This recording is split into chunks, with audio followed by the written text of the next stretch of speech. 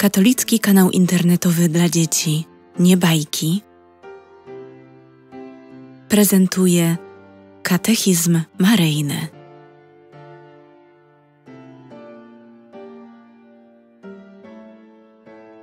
Część druga. Okres od zwiastowania do wniebowzięcia. Jak długo święta rodzina przebywała w Egipcie? Święta rodzina przebywała w Egipcie do śmierci Heroda. Ponieważ data tej śmierci nie jest dokładnie znana, nie można również określić dokładnego czasu pobytu świętej rodziny w Egipcie.